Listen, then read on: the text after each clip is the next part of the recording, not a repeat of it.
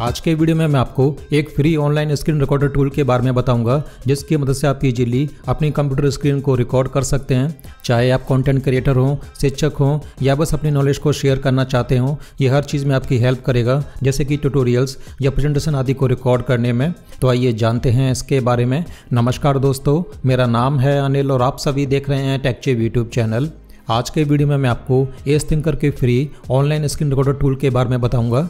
जिसका यूज़ आप engaging video content बनाने में सॉफ्टवेयर ट्यूटोरियल्स को रिकॉर्ड करने में प्रोडक्ट के फीचर्स को डेमोस्ट्रेट करने में, या फिर गेम प्ले मोमेंट को कैप्चर करने में, इन सब में आप इसका प्रयोग इजीली ले सकते हैं। और सबसे अच्छी बात, इसके लिए आपको अपना बजट खर्च करने की ज़रूरत नहीं पड़ेगी, क्योंकि ये एक फ्री टूल है और इसको यूज़ करना भी काफ़ी आसान है। जैसे कि मैं आपको दिखाता हूँ, इसके लिए आपको क्लिक करना है स्टार्ट रिकॉर्डिंग पर। जब आप इसको पहली बार स्टार्ट करेंगे तो आपको इसके लॉन्चर एप्लीकेशन को इंस्टॉल करना होगा। ये वन टाइम की प्रोसेस है और ये काफ़ी छोटा सा टूल है, जिसका साइज़ करीब एक पॉइंट दो एमबी का है। जब भी आपके सिस्टम पर इंस्टॉल हो जाएगा तो आप इसका इजीली प्रयोग कर पाएँगे।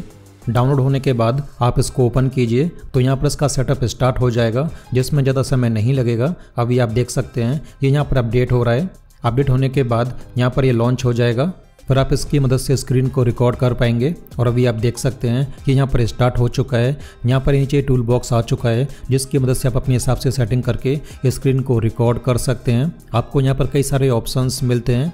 जैसे कि आप देख सकते हैं, ये अभी स्क्रीन को फुल स्क्रीन में रिकॉर्ड करेगा। आप चाहें तो इसको अपने हिसाब से एडजस्ट कर सकते हैं। आप इसके साइज़ को सिंपल से छोटा बड़ा कर सकते हैं। या फिर आप यहाँ से अपने हिसाब से रिकॉर्डिंग साइज़ को सेट कर सकते हैं। जैसे कि यहाँ पर मैंने अपना टर्मिनल ओपन कर लिया और मैं केवल इसी टर्मिनल को रिकॉर्ड करना चाहता हूँ तो आप इसकी मदद से इस विंडो को रिकॉर्ड कर सकते हैं। बाकी जो स्क्रीन है, ये रिकॉर्ड नहीं होगी। आप देख सकते हैं, अभी यहाँ पर रिकॉर्डिंग साइज़ सेट हो चुका है। आपको यहाँ पर और भी कई ऑप्शंस मिलते हैं कि आप इसको कौन से साइज़ में रिकॉर्ड करना चाहते हैं। आपको यहाँ पर कई तरह के प्री सेट साइज़ मिलेंगे या आप यहाँ पर अपना कस्टम साइज़ भी सेट कर सकते हैं। इसके साथ ही आप यहाँ से सेट कर पाएँगे कि आपको सिस्टम साउंड या माइक्रोफोन की साउंड रिकॉर्ड करनी है, या दोनों की साउंड रिकॉर्ड करनी है, ये ऑप्शन भी आपको यहाँ पर मिल जाएगा। साथ ही आप यहाँ से वेब कैम को भी रिकॉर्ड कर सकते हैं तो आपके स्क्रीन रिकॉर्डिंग के साथ वेब कैम भी यहाँ पर रिकॉर्ड होता रहेगा। आपको यहाँ पर रिकॉर्डिंग की और भी कई सेटिंग्स मिल जाएँगी। ये देखिए दोस्तों, ये रिकॉर्डिंग्स की सेटिंग्स हैं, ये बेसिक सेटिंग है, आप यहाँ पर सेट कर सकते हैं कि रिकॉर्डिंग स्टार्ट करने से पहले काउंटडाउन स्टार्ट होना चाहिए। या जैसे रिकॉर्डिंग स्टार्ट हो तो बीप की आवाज़ आनी चाहिए। रिकॉर्डिंग की बाउंड्री शो होनी चाहिए या नहीं? रिकॉर्डिंग टूल पर आना चाहिए या नहीं? या स्क्रीन रिकॉर्डिंग के दौरान आप कर्सर को कैप्चर करना चाहते हैं या नहीं? ये सब आप यहाँ से सेट कर सकते हैं।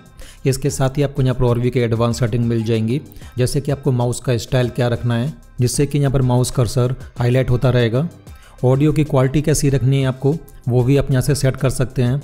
वीडियो सेटिंग कैसी करनी है, वो सब आप यहाँ से सेट कर पाएँगे। जैसे कि आपको किस बिट रेट के अंदर रिकॉर्ड करना है फ्रेम रेट क्या रखनी है कोडेक कौन सा यूज़ करना है मोड कैसा रखना है, कि आपकी प्रायोरिटी कौन सी है परफॉर्मेंस या क्वालिटी या फिर आप यहाँ पर बैलेंस को सेलेक्ट कर सकते हैं। वीडियो फॉर्मेट आपको कैसा रखना है, वो भी आप यहाँ से सेट कर पाएँगे। तो जो भी आप फॉर्मेट सेलेक्ट करेंगे, ये उसी वीडियो फॉर्मेट के अंदर फ़ाइल सेव होगी। आपको यहाँ पर कई पॉपुलर वीडियो फॉर्मेट्स मिल जाएँगे।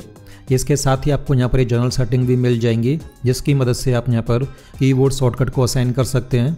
कि आप रिकॉर्डिंग को स्टार्ट करने के लिए स्टॉप करने के लिए पॉज या रिज्यूम करने के लिए टूल बार को शो या हाइड करने के लिए कौन सा शॉर्टकट सेट करना चाहते हैं, वो आप यहाँ से अपने हिसाब से सेट कर सकते हैं। और जो आपकी वीडियो फ़ाइल बनेगी, वो वीडियो फ़ाइल कहाँ पर सेव होनी चाहिए, वो भी आप यहाँ से सेट कर पाएँगे। यहाँ पर ये डिफ़ॉल्ट पाथ दे रखा है। यदि आप इसको चेंज करना चाहते हैं तो आप इसको यहाँ से चेंज कर सकते हैं। ये सब सेट करने के बाद आप इसको ओके कर दीजिए। तो आपके यहाँ पर रिकॉर्डिंग सेटिंग सेट हो जाएँगे। फिर आप जिसको जैसे ही रिकॉर्ड करेंगे तो जो आपने ऑप्शन सेट किए हैं, ये उसी के हिसाब से रिकॉर्ड होगा। जैसे कि मैं आपको रिकॉर्ड करके दिखाता हूँ। मैंने यहाँ पर रिकॉर्डिंग स्टार्ट कर दी है और आप देख सकते हैं, यहाँ पर काउंट स्टार्ट हो चुका है। और जैसे यहाँ पर रिकॉर्डिंग स्टार्ट होगी तो यहाँ पर बीप की साउंड भी आएगी। ये देखिए, अभी यहाँ पर रिकॉर्डिंग स्टार्ट हो चुकी है। नीचे यहाँ पर ये टूल बार आ चुका है। इसकी मदद से आप यहाँ पर रिकॉर्डिंग को पॉज कर सकते हैं स्टॉप कर सकते हैं। टाइमर भी आपको यहाँ पर मिल जाएगा कि ये रिकॉर्डिंग की लेंथ कितनी हो गई है, वो भी आप लाइव देख पाएँगे। तो अभी आपने जो रिकॉर्डिंग एरिया सेट किया है, आप इसमें कुछ भी करेंगे, वो सब रिकॉर्ड होता रहेगा। साथ ही आपको यहाँ पर ये टूल बॉक्स मिल जाता है, जो लोग वीडियो ट्यूटोरियल बनाते हैं या सॉफ्टवेयर को डेमोस्ट्रेट करते हैं प्रेजेंटेशन बनाते हैं, ये उनके लिए काफ़ी मददगार है। आप लाइव रिकॉर्डिंग में इनका यूज़ कर सकते हैं। यहाँ पर आपको कई तरह के टूल मिल जाएँगे, जिनका आप यहाँ पर साइज़ सेट कर पाएँगे, उनका कलर सेट कर पाएँगे।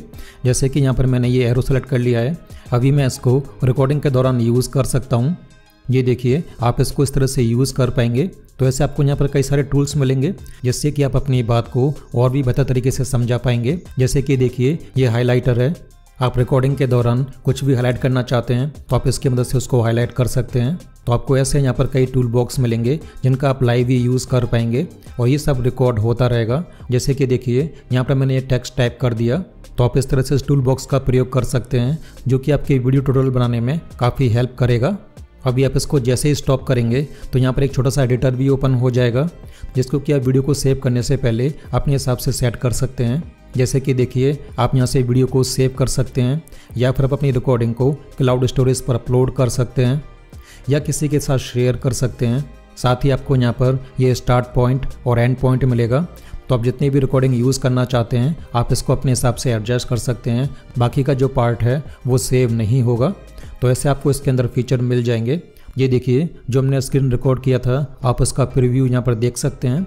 और जो हमने रिकॉर्डिंग के दौरान टूल यूज़ किए थे, वो भी यहाँ पर शो हो रहे हैं। तो आपको इस रिकॉर्डिंग में से जितना पार्ट सेव करना है, आप इसको यहाँ से सेट कर लीजिए। उसके बाद क्लिक कर दीजिए सेव बटन पर। आपको यहाँ पर सेव के दो ऑप्शन मिलेंगे। आप इसकी जी फ़ाइल बना सकते हैं, या फिर आप इसको वीडियो फ़ाइल में सेव कर सकते हैं। तो जैसे भी आपने यहाँ पर वीडियो सेटिंग की है, ये उस फॉर्मेट के अंदर सेव हो जाएगी और अभी आप देख सकते हैं, ये फ़ाइल सेव हो चुकी है। जो भी आपने फोल्डर सेट किया था, ये उस लोकेशन पर सेव हो जाएगा।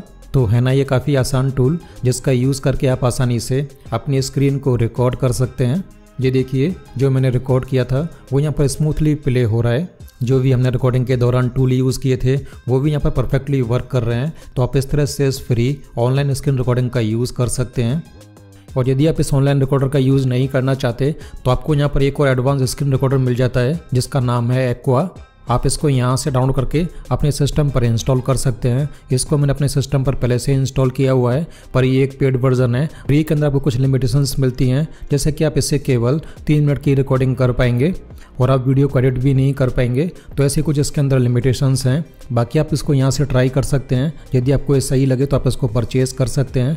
आपको इसके अंदर स्क्रीन रिकॉर्डिंग के कई एडवांस ऑप्शन मिलेंगे। जैसे कि ये देखिए दोस्तों, ये सारे वीडियो रिकॉर्डर के ऑप्शन हैं। आप यहाँ से सेट कर सकते हैं। कि आपको कितनी स्क्रीन साइज़ रिकॉर्ड करना है।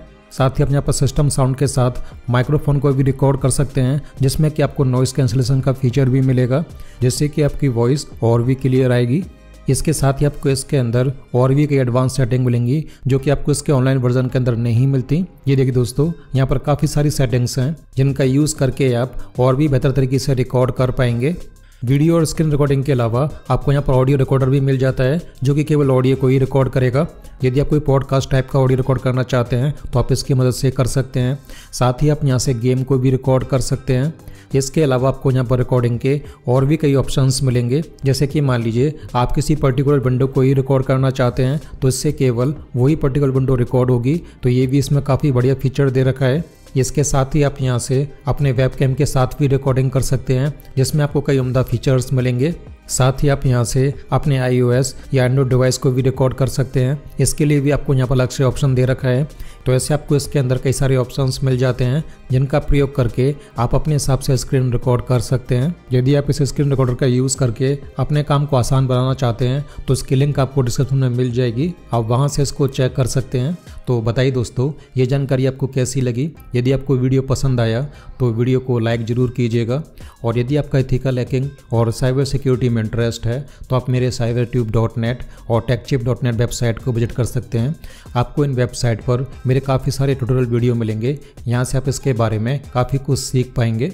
और यदि आप इस चैनल को पहली बार देख रहे हैं तो चैनल को सब्सक्राइब ज़रूर कीजिएगा, क्योंकि आपको इस चैनल पर फ्री में काफ़ी महत्वपूर्ण जानकारियाँ मिलती रहती हैं। बेल आइकन को भी प्रेस कर लीजिएगा, ताकि मैं इस चैनल पर कोई भी नई वीडियो पोस्ट करूँ तो उसकी नोटिफिकेशन आपको तुरंत ही मिल जाए और वो वीडियो मिस ना हो पाए। तो अभी के लिए मैं आपसे ज़्यादा चाहूँगा, जल्दी ही मुलाकात होगी ऐसी कसन्य वीडियो के अंदर। नमस्कार।